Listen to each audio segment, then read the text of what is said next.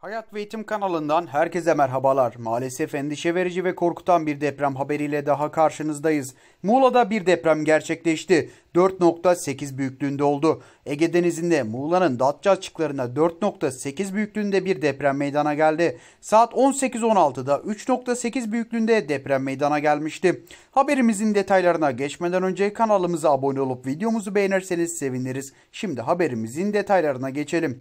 AFAD internet sitesinden yer alan bilgilere göre Muğla Datça'da 4.8 büyüklüğünde bir deprem meydana geldi. Depremin derinliği 7.38 kilometre olarak ölçüldü. Deprem saat 20.08'de meydana geldi. Kandilli Rasathanesi ise depremin büyüklüğünü 5.0 olarak duyurdu. Saat 18.16'da 3.8 büyüklüğünde deprem meydana gelmişti.